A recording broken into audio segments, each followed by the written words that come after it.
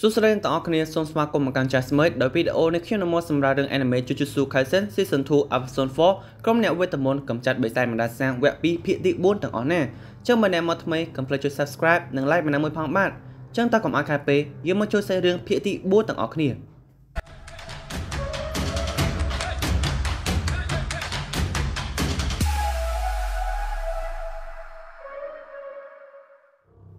គេតូក៏បានប្រាស្រ័យនាមបណ្ដាសារបស់គេស្ទុះចូលទៅវេប្រហារធូជីភ្លាមភ្លាមឯខាងធូជីក៏បានប្រាកំភ្លើរបស់គេបាញ់តម្រំមករកគេតូដូចគ្នាក្នុងពេលតែមួយទោះបីធូជីកំពុងត្រូវសត្វនេះត្របាក់ក៏ដោយអាចនិយាយបានថាក្រកំភ្លើដែលគេបានបាញ់នោះប៊ីនឹងត្រូវគេតូហើយសំណាងល្អនៅពេលនោះគេតូប្រាស្រ័យបណ្ដាសារបស់គេក្នុងការរងក្រកំភ្លើបានទាន់ពេលវេលានៅពេលនោះដែរនេះបណ្ដាសានោះក៏បានបុកខ្លួនធូជីទម្លាក់បុកផ្ទះធ្លាដល់ដីតែវាមិនបានធ្វើអីដល់ធូជីឡើយធូជីក៏និយាយឡើងថា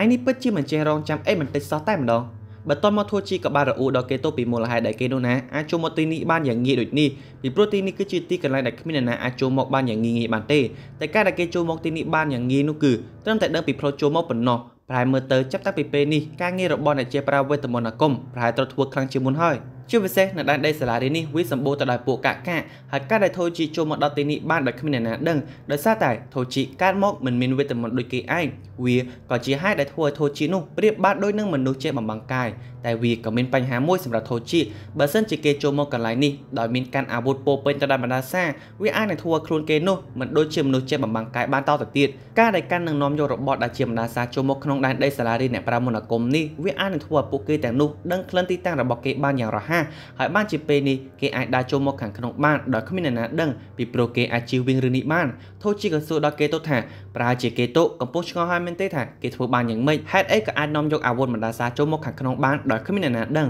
ធូជីក៏បន្តប្រាប់ថាពីព្រោះតែគេនោះបានលេបសត្វបណ្ដាសាដែលអាចមានអាវុធចូលក្នុងពោះរបស់គេនឹងហើយដោយធូជីឲ្យបេសបណ្ដាសានោះបង្រួមខ្លួនឲ្យតូចឬក៏លេបវាចូលក្នុងពោះចឹងហើយពេលនេះគេប្រៀបបានដោយមនុស្សចេះបំបង្កាយដោយមិនឲ្យពួកអ្នកចេះប្រើវេទមន្តដឹងពីទីតាំងនិងការផ្លាស់ទីរបស់គេបានឡើយ ហើយបានជាមុនដំបងថូជីមិនប្រើអាវុធបណ្ដាសាសម្រាប់កោជោពីដំបងពីព្រោះតែថូជីខ្លាចភ្នែករបស់កោជោការភ្នែករបស់កោជោជាការភ្នែករីខូជាភ្នែកអាចមើលឃើញការផ្លាស់ទីគ្រប់យ៉ាងរបស់បណ្ដាសាបានចឹងទៅបើប្រើវាមិនគិតមុខគិតក្រោយវាអាចនឹងនាំគ្រោះថ្នាក់ដល់គេក៏ថាបាន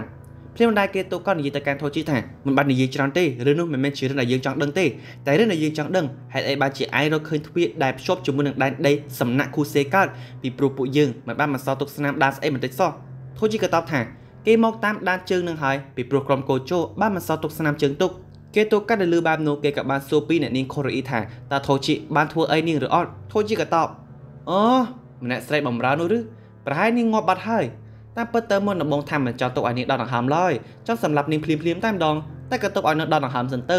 បើនាងមានសំណាងក៏នៅរស់តែបើអត់សំណាងទេក៏ងាប់នឹងហើយគេទុកដែលលើបែបនោះក្នុងខ្លួនរបស់គេឡើងកំហឹងតែម្ដងឬក៏បលែសត្វនាមដាសាររបស់គេម្ដងទៀតក្នុងការតស៊ូកំចាត់ថូជីព្រមជាមួយនឹងថាមពលក្រកកំភ្លើងបាញ់តតគ្នាតែវានៅតែមិនអាចធ្វើអីដល់ថូជីស្អីបន្តិចមិនត្រឹមតែប៉ុណ្ណោះខាងថូជីក៏អាចយកកំបិតរបស់គេកាត់ខ្លួនប្រាណសត្វនាមដាសារបស់គេទុកបានទៀតផងការដែលឃើញបែបនោះរឿងនេះដល់ថ្នាក់គេទៅភ្ញាក់ផ្អើលមែនទែននេះជាសត្វនាមដែលមានកម្លាំងខ្លាំងជាងគេណាហើយអីក៏ថូជីអាចកំចាត់វាបានយ៉ាងងាយដូចនេះ មិនទាន់ប្រមាណផងថូជីក៏លើមកពីក្រោយខ្នងរបស់គេតុរួចរាល់តែនៅខណៈនោះដែរវាក៏មានបិសាចខ្មោចស្រីម្ដាសាមួយទៀតរបស់គេតុខ្មោចស្រីនោះក៏បានបង្កើតដៃដេះរបស់នាងឡើងមកវិញ្ញាណខ្មោចស្រីនោះក៏បានសួរដល់ថូជីថាតើនាងស្អាតឬអត់ឯខាងថូជីគេក៏ដឹងច្បាស់ពីថាពុំម្ដាសារបស់វិញ្ញាណខ្មោចស្រីនេះដោយក្នុងដែនដីរបស់នាងដែលបង្កើតឡើងមកនេះពួកគេទាំងសងខាងមិនអាចបោកឆាកវាយគ្នាបានឡើយតោះតែមានម្នាក់ចាំឆ្លើយនឹងសំណួរដែលម្នាក់ទៀតសួរទើបថូជីក៏តទៅនាងថាអូនាងស្អាតអត់អញ្ចឹងឬអឺ តែយើងចង់ប្រាប់នាងតាមត្រង់ចុះថានាងមិនមែនជាប្រភេទមនុស្សដែលយើងស្រឡាញ់ទេពេលដែលគេនិយាយចប់សក់និងកន្លែងតាជារបស់ថូជីក៏ដាច់ចេញឈាមបន្តិចហើយតាមពិតទៅជុំវិញខ្លួនគេពោពេញទៅដោយកន្ត្រៃដែលជាធម៌ពលមដាសារបស់វិញ្ញាណខ្មោចស្រីនោះសោះដើម្បីកុំឲ្យនាងប្រើយកមកវិប្រហាគេមុនថូជីក៏ដកកំបិតខ្លីកាប់យកកាប់យកលើកន្ត្រៃនោះរហូតធ្វើឲ្យមដាសាធម៌ពលដែនដីរបស់ខ្មោចស្រីនោះរលាយដូចគ្នាពិតជាល្ងងពិតមែនចប់ហើយឬ ទោះជានិយាយមិនតាន់ប្រមាណផងគេតុក៏បានឈរនៅពីក្រោយខ្នងរបស់គេនឹងតទៅវិញថាគ្រប់យ៉ាងត្រូវចប់វាជាឯងទៅវិញទេគេតុនិយាយផងនៅលើកដៃក្នុងការប្រើថាមពលគ្រប់គ្រងស្រូបយកសាច់បណ្ដាសាបិសាចលើស្មារបស់ថូជីមកទុកខ្លះជារបស់គេពេលវាធ្លាក់ចិត្តដល់ដៃរបស់គេតុហើយបិសាចបណ្ដាសានោះវាមិនព្រមនឹងហើយ ទើបគេមិនអាចស្រូបយកវាបានវាក៏ជាហេតុបណ្ដាឲ្យគេតុត្រូវបានថូជីកាប់ខ្វាយលើកណ្ដាលទ្រូងឈាមសាចេញមកខាងក្រៅរងរបួសធ្ងន់មិនស្ទើរទេតែមិនទាន់ចប់ទេថូជីក៏ធាក់ចំកណ្ដាលមុខរបស់គេទៅមួយទំហឹងបណ្ដាគេនោះសន្លប់បាត់ស្មារតីដល់ថ្នាក់ផ្ទះនោះត្រូវបំផ្លាញបាក់បែកធ្លាក់ដល់ដីឯថូជីគេមិនបានសម្លាប់គេទុកដែរដោយសារគេគិតថាគេទុអ្នកមានធម៌ពលគ្រប់គ្រងបិសាចម្ដាសាបានបើសិនជាគេសម្លាប់គេទុបានតើអាពួកបិសាចម្ដាសាក្នុងខ្លួនរបស់គេទុវានឹងចេញមកបង្ករឿងនឹងខាងក្រៅឬអត់ចឹងហើយទៅមិនចង់នាំរឿងបញ្ហារញ៉េរញ៉ៃដល់ខ្លួនទៅថូជីមិនបានសម្លាប់គេទុឡើយថូជីក៏បានយកជើងរបស់គេតតមុខរបស់គេទុនិងនិយាយឡើងថាពួកឯងនេះពិតជាមានសំណាងណាស់ដែលមានម៉ែឪតែក៏នៅចែកមនុស្សដូចជាយើងដដែលយើងជាមនុស្សដែលមិនអាចសំបីតែប្រើវេទមន្តមន្តអាគមនិយាយពីរឿងគ្រួសារភ្លាមម្ដាយថូជីក៏នឹកឃើញថាខ្លួនគេនោះមានកូនប្រុសម្នាក់ដែលមានឈ្មោះថា មេគុមិហ្វូស៊ីកូរ៉ូបន្ទាប់មករូបភាពក៏កាត់មកកន្លែងទីសំណាក់មជ្ឈមណ្ឌលបាំងសេថូជីក៏បាននាំខ្លួនសាកសៅរបស់រីកូបកលដល់មនុស្សនៅមជ្ឈមណ្ឌលនេះហើយអាពូម្នាក់នេះគេមានឈ្មោះថាស៊ីកូរ៉ូជាតំណាងគណៈកម្មាធិការនៅមជ្ឈមណ្ឌលបាំងសេនេះស៊ីកូរ៉ូក៏ដែលឃើញគ្រប់យ៉ាងត្រូវបានកម្ចាត់អស់ហើយគាត់ក៏និយាយថានឹងបន្ថែមប្រាក់ដល់ថូជីបន្តិចទៀតទុកថាជារង្វាន់បន្ថែមមុនដំបូងគេមិនគិតសថាភារកិច្ចនេះបានជោគជ័យឡើយបន្ទាប់មកគាត់ក៏និយាយឡើងពីការបង្កើតមជ្ឈមណ្ឌលបាំងសេនេះឡើងប្រាប់ដល់ថូជីថា មជ្ឈមណ្ឌលបងសេបង្កើតឡើងនៅសម័យណារ៉ាដែលលោកម្ចាស់ថៃងៀនជាអ្នកកោការមូលដ្ឋានសម្រាប់ជនជាតិភាគតិចដែលចូលចិត្តមនុស្សប្រាមុខវិជាមន្តអាគមរួមជាមួយនឹងការផ្សព្វផ្សាយព្រះពុទ្ធសាសនានៅប្រទេសជប៉ុនដែរផង។ តែពិភពលោកខាងអ្នកប្រាវិទ្យាមន្តនិងខាងអង្គការសាសនាគឺមិនចុះសម្រុងគ្នាតតែសោះហើយរបបដែលកើតពីការបង្ខូចត្រង់ទ្រីគឺជាមជ្ឈមណ្ឌលបាំងសេសមាគមនៃពេលវេលាដែលនៅបច្ចុប្បន្ននេះដោយហេតុនោះពួកគេក៏ស្ថិតក្នុងឋានៈអ្នកគ្មានវិជាស្អីទាំងអស់មកដល់សប្តាហ៍ថ្ងៃនេះបើតាមច្បាប់ទម្លាប់អ្នកប្រើប្រាស់វិជាមន្តអាគមមានសិទ្ធិច្រើនជាងអ្នកអត់មានតែពួកគេទាំងនោះមិនអាចតតាំងនឹងអ្នកមានវិជាបានឡើយតែថាពេលវេលានោះក៏បានមកដល់វាជារឿងដែលមិនគួរធ្វើដែលបានកត់ត្រាទុកក្នុងគម្ពីរ ដោយរឿងនេះគឺជាការហាមមិនឲ្យខ្លួនប្រាណរបស់លោកម្ចាស់ថៃងៀនទៅរួបរวมខ្លួនប្រាណជាមួយនឹងរបស់កខ្វក់ដូចជាមនុស្សជាដាច់ខាតបើធ្វើប្រងើយមិនខ្វល់ពីរឿងនេះមិនចេះមណ្ឌលបងសេក៏មិនអាចនៅតទៅទៀតបានឡើយតែបើពួកគេបង្ករឿងរញ៉េរញ៉ៃខ្លាំងពេកវាអាចនឹងធ្វើឲ្យពួកអ្នកប្រើវេទមន្តមកកំចាត់ពួកគេមិនខានតែមើលទៅពេលនេះទៅជាយ៉ាងម៉េចដែររបស់ដែលចង់បានវាក៏ធ្លាក់ដល់ដៃហើយដូចនេះហើយយើងក៏ចង់បន្ថែមប្រាក់ពីលើបន្តិចបន្តួចនឹងឯងនៅពេលនោះដែរអាឡបងដែលបានទៅរកថូជីក្នុងការកម្ចាត់រីកូក៏និយាយឡើងថា ចុះបើពេលនោះលោកម្ចាស់ថៃងៀនមិនអាចគ្រប់គ្រងអារម្មណ៍កំហឹងរបស់គាត់បានអ្នកដែលមិនអាចរស់នៅបានតទៅទៀតគឺជាមនុស្សលោកកថាបានលោកអ៊ំស៊ីកូរ៉ូក៏តបទៅវិញថាបើលោកម្ចាស់ថៃងៀនបានរួបរวมខ្លួនប្រាណជាមួយនឹងរបស់ដែលពួកគាត់នោះបានត្រៀមទុកបានហើយ ក៏មិនបាច់ខ្វល់ស្អីទាំងអស់តាមដែលវាកើតឡើងទៅចុះបន្ទាប់ពីចប់ការងារបុរមអ្នកនោះនឹងថោជីក៏ដើរចេញមកខាងក្រៅនិយាយគ្នានៅពេលនោះដែរថោជីក៏ឆ្ងល់រឿងមួយពេលដែលពួកគេបានចាប់ខ្លួនអ្នកនាងកូរ៉េបានហើយហេតុអីមិនព្រមសម្រាប់នាងឲ្យងាប់ងាប់បាត់ទៅចាំបាច់នាំនាងទៅអូខេណាវ៉ាធ្វើអីជាពិសេសឲ្យក្រុមកោជោទៅជួយនាងតនពេលទៀតបុរមអ្នកនោះក៏និយាយឡើងថា មកដំបូងគេក៏ចង់សម្រាប់នាងឲ្យស្លាប់ភ្លាមៗដែរតែខាងមេធំរបស់គេមិនចង់ឲ្យស្ថានភាពរបស់ក្រុមកោជោ stress ខ្លាំងពេកចង់ឲ្យពួកគេអាចជួយដល់អ្នកនាងកូរ៉េបានដើម្បីកុំឲ្យពួកគេចាំតែប្រយ័ត្នខ្លួនពេលនាំរីកូត្រឡប់មកវិញវាអាចនឹងពិបាកតតាំងកថាបានជាពិសេសគេក៏មិនសូវយល់ពីផែនការពួកស្ថិអ្នកមានលុយដែរ តែថាគ្រប់យ៉ាងផែនការក៏រលូនហើយពេលនេះរីកូក៏ស្លាប់អ្នកនាងកូរ៉េក៏ត្រូវពួកវាសម្លាប់ហើយទៀតទៅថូជីក៏បបួលបរមអ្នកនោះទៅផឹកជាមួយគ្នាដោយសារទៅនឹងបានលុយអំបាយមិញនេះតែថាបុរមអ្នកនោះបដិសេធគេមិនចង់ទៅជាមួយថូជីឡើយបើចង់ទៅមានតែទៅធ្វើការជាមួយគ្នាឬចាំចូលនរកជាមួយគ្នាប៉ុណ្ណោះបានគាត់ទៅតែពួកគេទាំងពីរនាក់ក៏ចែកផ្លូវគ្នាត្រឡប់ទៅវិញ នៅខណៈដែលថូជីធ្វើដំណើរតាមផ្លូវគេក៏បានជួបនឹងមនុស្សម្នាក់ជាមនុស្សដែលគេចាំបានច្បាស់ណាស់ថាបានសម្លាប់ស្លាប់បាត់ហើយតើហេតុអីក៏បង្ហាញខ្លួននៅទីនេះបានទៀតហើយម្នាក់នោះគ្មានអ្នកណាក្រៅពីកូជូសតរ៉ូឡើយរឿងនេះដល់ថ្នាក់ថូជីផ្ញើផ្អើមិនស្ទើរទេឯងប្រាមុនអាគមត្រឡប់ថយក្រោយពិតឬអត់ក៏ពិតនឹងហើយកូជូក៏បានបង្ហាញពីរបួសនៅក្បាលរបស់គេដែលត្រូវបានថូជីចាក់ចំកណ្ដាលក្បាលនោះហើយកូជូក៏បន្តប្រាប់ដល់ថូជីថា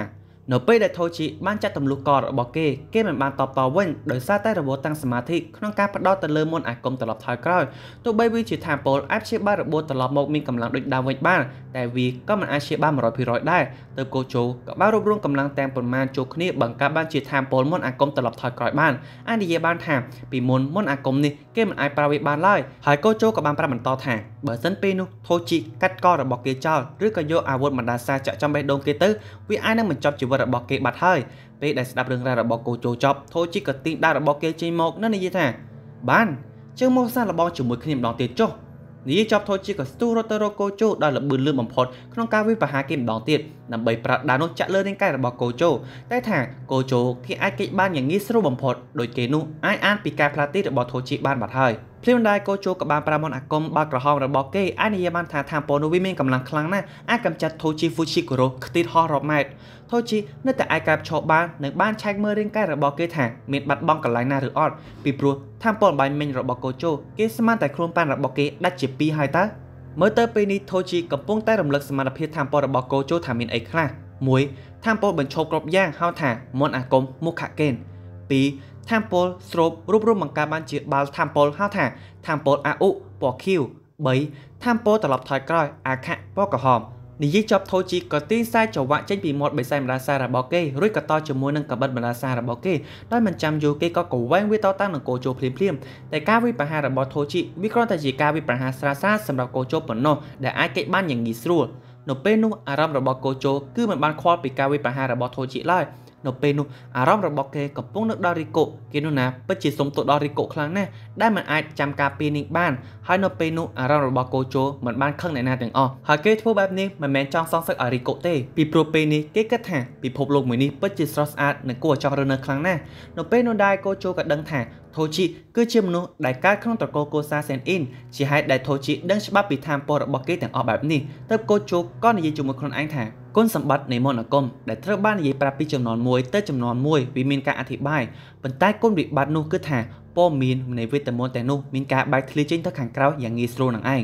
ភ្លាមនោះដែរកូជូក៏បានរួបរวมធម៌ពលពន្រីកនិងធម៌ពលត្រឡប់ថយក្រោយចូលគ្នាបង្កើតបានជាធម៌ពលហៅថា Kyuchiki ឬធម៌ពលពណ៌ស្វាយបាញ់មកកាន់ថូជីមួយទំហឹង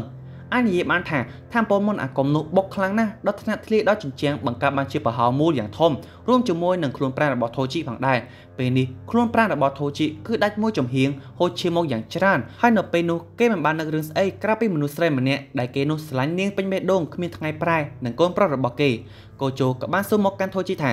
តើឯងមានអីចង់និយាយប្រែផ្ដាំជាលើកចុងក្រោយទេ មុនដំបូងថូជីក៏និយាយថាមិនមានទេនិយាយមិនតាន់ផុតមាត់ផងគេក៏នឹកឃើញថានៅពេលនេះគេនៅសល់មានកូនប្រុសម្នាក់ទៀតមានឈ្មោះថា Megumi Fushiguro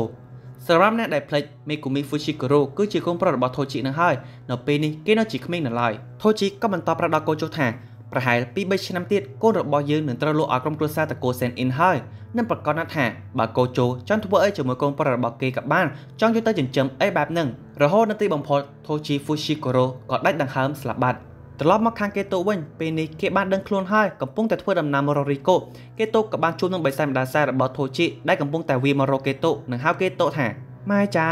ម៉ែចាសុំលើកអប់កូនបានអត់បន្តមកកេតូក៏បញ្ញាប់ទៅមជ្ឈមណ្ឌលបាំងសេរហូតបានជួបនឹងគោជោម្ដងទៀតរឿងនេះកេតូក៏មិនសូវយល់ដូចគ្នាថាហេតុអីគោជោមានជីវិតមកវិញបានយ៉ាងម៉េចតែមើលទៅពេលនេះគោជោកំពុងតែបីសាក់សៅរបស់រីកូនឹងនិយាយថាកេតូឯងមកយឺតហើយតែថាពួកយើង គួរតែសម្លាប់ពួកនេះឲ្យអស់ល្អទេពីព្រោះពេលនេះយើងមិនមានអារម្មណ៍អាណិតមេត្តាស្អីទៀតដែរគេទៅក៏តបថាមិនបាច់ទេពួកគេទាំងនេះប្រហែលមិនដឹងឆោស្អីទេតើតើនឹងវិជាមន្តអាគមហើយអាពួកដែលដឹងវិជាមន្តអាគមប្រហែលនាំក្បាលរត់អស់ហើយ